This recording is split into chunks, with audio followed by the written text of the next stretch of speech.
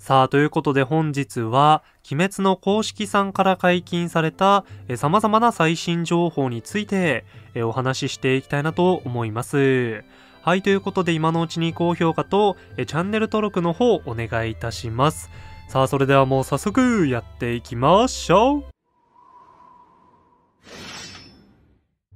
はい、ということで、今回まず一つ目の最新情報が、えー、こちらなんですけども、さあ、まずは劇場版に関する情報ですね。えー、ワールドツアー上映、鬼滅の刃絆の奇跡、えー、そして柱稽古への、え冒頭オープニングで、フロムジエッジ、白金、朝が来るを使用したスペシャルアバンをお届けと、そして今回エンディングテーマとともに、炭治郎のこれまでの物語を振り返っていただき、刀鍛冶の里編、柱稽古編をお楽しみくださいという感じでね、今回ワールドツアー上映のオープニングで、歴代のエンディングが使われるようなんですよね。いやー、なかなか面白いですね。で、左から順番に、えかまど炭治郎立志編、え無限列車編、え遊郭編のエンディングですね。さあ、そんな感じで本当にね、面白い、えスタートになりましたね。さあ、ということで続いての最新情報が、えこちらなんですけども、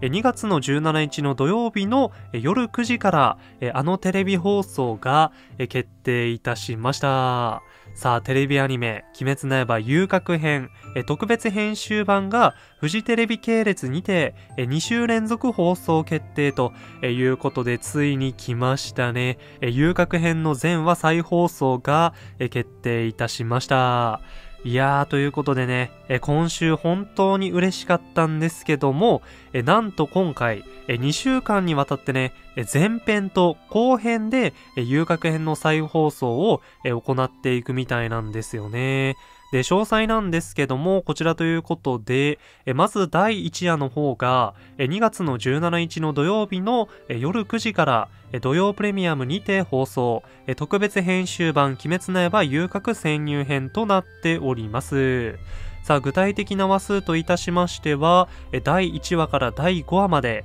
ちょうどダキとの戦闘が激化していくところまでですね。さあ、そして続いてが、第2夜ということで、2月の24日の土曜日の夜9時から、土曜プレミアムにて放送、特別編集版鬼滅の刃遊郭決戦編となっております。さあ、こちらは第6話から第11話最終回まで、あの伝説の渦井天元 VS 牛太郎の最高の決戦編となっておりますね。さあ、そんな感じで、ひとまず遊郭編の再放送が、決定いたしました。ということなんですけども、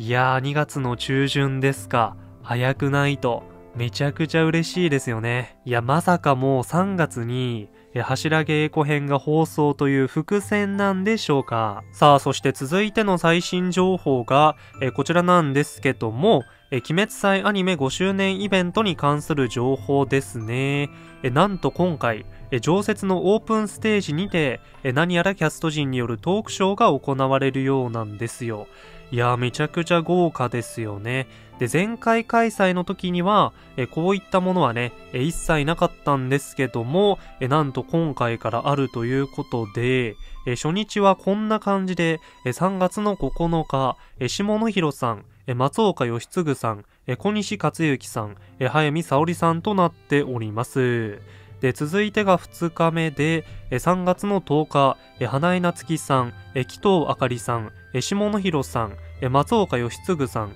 岡本信彦さん、川西健吾さん、花沢香菜さんとなっております。いやー、これね、豪華すぎて、この鬼滅祭前後で、何かでかい情報がね、発表されるんじゃないかなと思っておりますね。いやー今回遊郭編の再放送といい、2月から3月は怪しいですよね。さあ、そして続いて最近発表があったのが、えアベマ TV による一挙無料放送ですね。えなんと遊郭編までの全エピソードを無料で配信ということでとんでもないんですけども、え配信スケジュールの方がこんな感じで、え無料で配信するみたいなので、えよかったら見てみてください。いやーなんか鬼滅の公式さんめちゃくちゃ大きく動いておりますよね。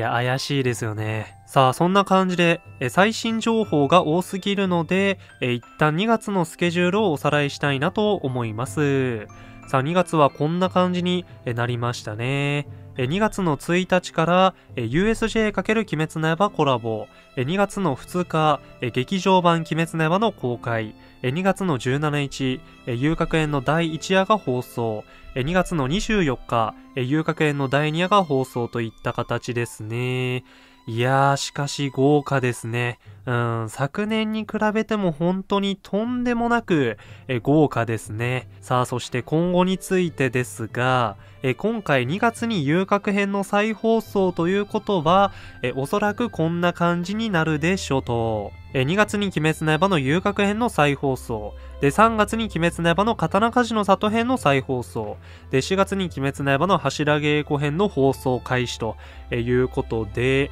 え今回やはりプロモーションリールにもあった通り、2024年の春というのは春アニメということで、4月から放送というのが濃厚になってきました。まあ3月から放送の可能性っていうのも全然ありますけども、この流れだと4月からでもいいんじゃないかなと思っておりますね。そして今年の鬼滅の公式さんは、どこか気合の入れ方が違うので、まだまだサプライズ情報っていうのはあるでしょうと。はい、ということで今回はこんな感じです。さあ、間もなく鬼滅テレビの公式発表もあるのかなと思いますね。さあ、ということで皆さんまた次回の動画でお会いしましょううっ